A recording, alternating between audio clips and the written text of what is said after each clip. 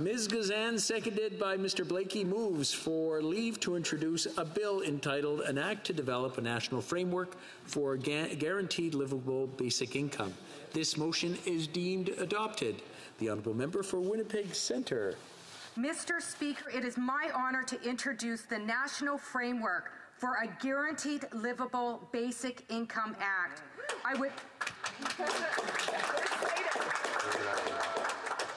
would like to start out by thanking the Member of Parliament for Elmwood Transcona for seconding my bill, my riding of Winnipeg Centre, Basic Income Canada Network, Basic Income Manitoba, Coalition Canada, Basic Income Canada Youth Network, Senator Kim Pate, former Senator Hugh Segal, and so many other anti-poverty activists across this country who contributed to the development of this bill. As we continue to find ways to make it through the pandemic, we know that those who were already left behind are even further behind.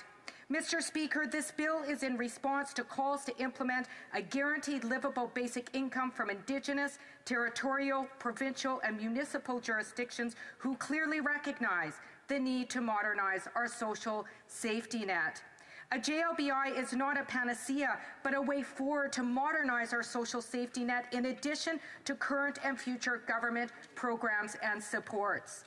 It will ensure that all people have the necessary supports and resources to live with dignity, security, respect, and human rights as affirmed in the Canadian Charter of Rights and Freedoms. I'd once again like to thank my constituents and the basic income movement for your support. This is a people's movement. Ms. Gazan, seconded by Mr. Blaikie, moves that the bill be now read a first time and be printed. This motion is deemed adopted.